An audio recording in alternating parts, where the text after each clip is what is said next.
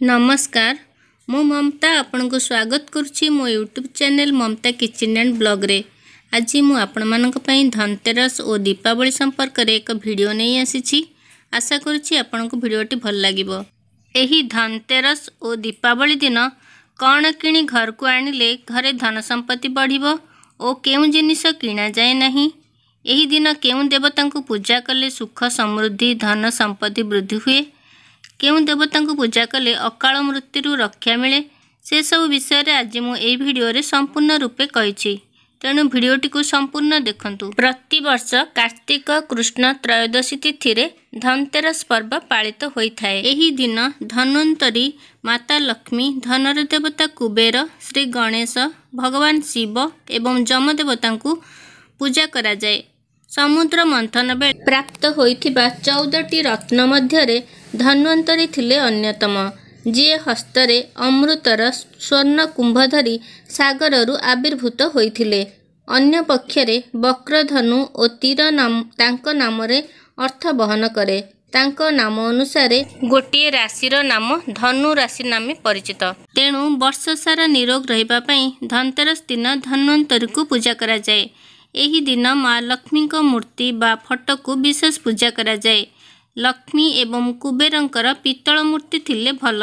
ପ୍ରଥମେ ମୂର୍ତ୍ତିକୁ ଗଙ୍ଗା ଜଳରେ ସ୍ନାନ କରି ଚନ୍ଦନ ସିନ୍ଦୁର ଦେଇ ଧୂପ ଦୀପରେ ଆଳତି କରି ହଳଦିଆ ଫୁଲରେ ପୂଜା କରାଯାଏ। ମୂର୍ତ୍ତି ନଥିଲେ ପାନ ଉପରେ ଗୁଆଟିଏ ରଖି ଚନ୍ଦନ ସିନ୍ଦୁର ଲଗାଇ ଦେବତାଙ୍କୁ ଆବାହନ କରି ପୂଜା କରାଯାଏ। ପୂଜା ଶେଷରେ କୁବେରଙ୍କ ଗୁଆକୁ ଆଲମାରିରେ ବା ଟଙ୍କା ପଇସା ରଖିବା ଜାଗାରେ ରଖାଯାଏ। ଏପରି କଲେ ଧନ ବୃଦ୍ଧି ହୁଏ। ବେପାର ବାଣିଜ୍ୟରେ ଉନ୍ନତି ହୁଏ। ଘରେ କେବେ ହେଲେ ଅଭାବ ରହେ ନାହିଁ। କରିବା ସମୟରେ ପ୍ରଥମେ ଶ୍ରୀ ଗଣେଶଙ୍କୁ ଆବାହନ କରି କଳସ ବସାଯାଏ। ତାପରେ ଅନ୍ୟ ଠାକୁରଙ୍କ ପୂଜା କରାଯାଏ। ସବୁ ଦେବତାଙ୍କ ପାଇଁ ଗୋଟିଏ କଳସ ବସାଯାଏ।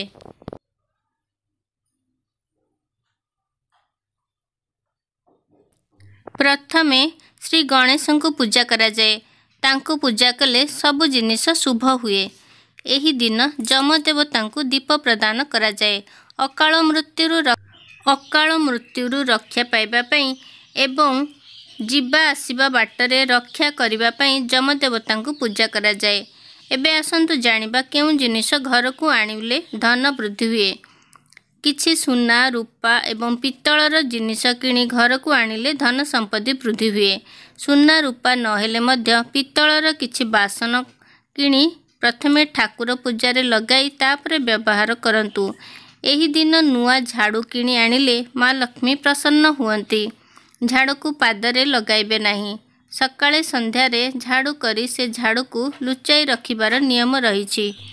ଏହି ଦିନ କାଚ ଷ୍ଟିଲ୍ ଓ ଆଲୁମିନିୟମର ଜିନିଷ କିଣିଲେ ଘରକୁ ଦରିଦ୍ରତା ଆସିଥାଏ। ଏହି ଦିନ କଳା ରଙ୍ଗର ବସ୍ତ୍ର ପିନ୍ଧାଯାଏ ନାହିଁ। ଏହି ଦିନ ଲୁଣ ଗୋଟେ ପ୍ୟାକେଟ୍ କିଣି ଘରେ ରଖନ୍ତୁ। ତାକୁ ଘର ସାରା ଟିକେ ଟିକେ ଛିଞ୍ଚି ଦିଅନ୍ତୁ। ଏହା ଫଳରେ ଘରେ ନକାରାତ୍ମକ ଦୋଷ ଥିଲେ ଦୂର ହୋଇଯାଏ।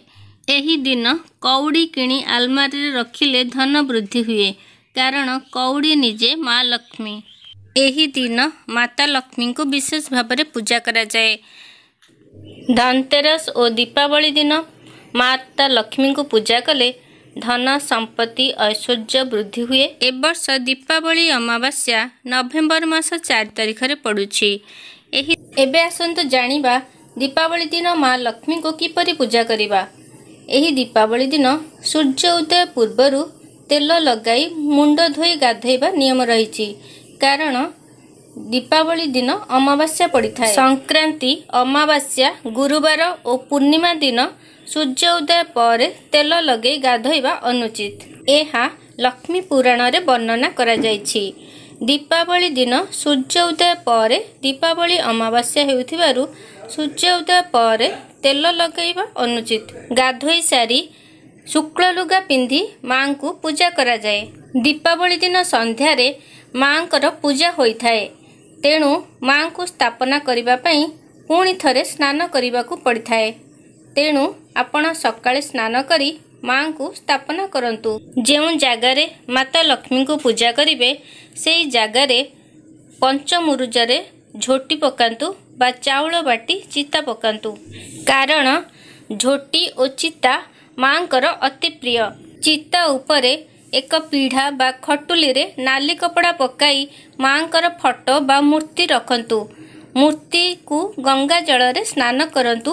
ଯଦି ଫଟୋ ପୂଜା କରୁଥାନ୍ତି ତାହେଲେ ଗଙ୍ଗା ଜଳରେ ଛିଞ୍ଚି ପୋଛି ଦିଅନ୍ତୁ। ତାପରେ ଚନ୍ଦନ ସିନ୍ଦୁର ହଳଦିଆ ଫୁଲ ଓ ଧୂପ ଦୀପ ଦେଇ ମାଙ୍କୁ ପୂଜା କରନ୍ତୁ। ପାଖରେ କୁବେର ଓ ଗଣେଶଙ୍କ ମୂର୍ତ୍ତି ବା ଫଟୋ ରଖି ପୂଜା କରନ୍ତୁ। ମାଙ୍କୁ ପିଠା ମିଠା କ୍ଷୀରି ଭୋଗ ଲଗାନ୍ତୁ। ଏହି ଦିନ ଲକ୍ଷ୍ମୀ କୁବେର ଯନ୍ତ୍ର ରଖି ପୂଜା କଲେ ବହୁତ ଶୁଭ ହୋଇଥାଏ। ଏହାଦ୍ୱାରା ଧନ ବୃଦ୍ଧି ହୋଇଥାଏ। ବେପାର ବାଣିଜ୍ୟରେ ଲାଭ ହୋଇଥାଏ।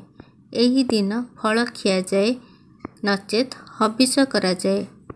ଦୀପାବଳି ଅମାବାସ୍ୟା ସନ୍ଧ୍ୟାରେ ଦୀପଦାନ ଶ୍ରାଦ୍ଧ ବା ପୟା ଶ୍ରାଦ୍ଧ କରାଯାଏ। ଏହା ପିତୃପୁରୁଷଙ୍କ ଉଦ୍ଦେଶ୍ୟରେ କରାଯାଏ।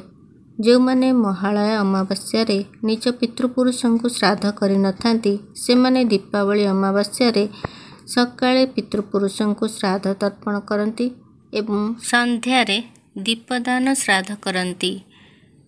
ଫଳ କଦଳୀ ଆଖୁ ରଖି ଏବଂ ଚାରିପଟେ ଦୀପ ଜଳାଇ ଦୀପଦାନ ଶ୍ରାଦ୍ଧ କରାଯାଏ। ଏହା ଫଳରେ ପିତୃପୁରୁଷ ସନ୍ତୁଷ୍ଟ ହୁଅନ୍ତି ଏବଂ ବହୁତ ଆଶୀର୍ବାଦ କରନ୍ତି।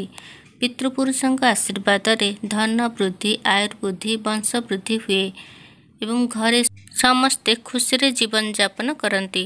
ଫ୍ରେଣ୍ଡସ୍ ଏହା ଥିଲା ଧନତେରସ ଓ ଦୀପାବଳି ସମ୍ପର୍କରେ କିଛି ଜାଣିବା କଥା।